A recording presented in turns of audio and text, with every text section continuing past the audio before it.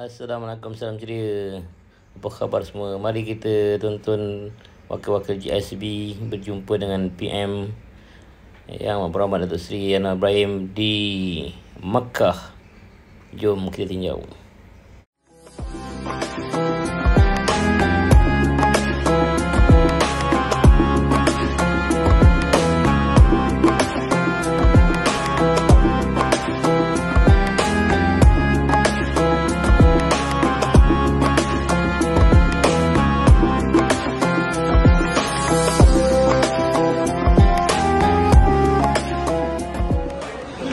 Pertemuan wakil GISPH dengan PM di Mekah.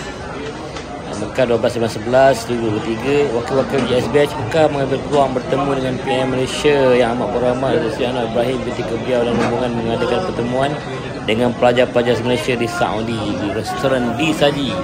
Bangunan Sofwa dekat Masjidil Haram di sini. 12 Februari lepas Seri Anwar Ibrahim sampai ke lokasi jam 8.30 malam bersama Menteri Luar Datuk Seri Datuk Zam, uh, Diraja Zamri Abdul Kadir dan Menteri Komunikasi dan Digital Ahmad Fahmi Muhammad Fazil diiringi pegawai keselamatan Malaysia dan Saudi disambut pegawai-pegawai konsulat yang telah sedia ada.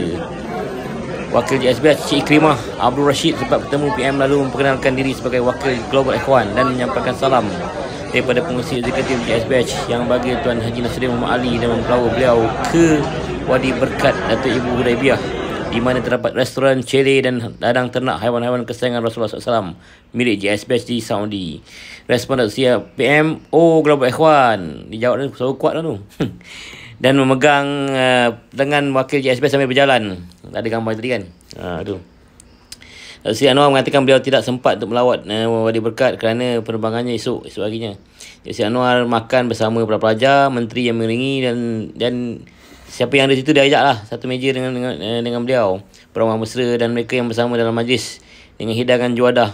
Sebagian dengan juadah tu uh, pihak uh, disaji tu beli di di Nur Malaysia Al-Haram sendiri. Restoran di situ. Dia juga melayani uh, orang ramai yang datang untuk bergambar dan bersalam dengannya walaupun dikawal ketat oleh keselamatan. Khususnya pihak keselamatan Saudi tu yang pakai igal-igal tu aduh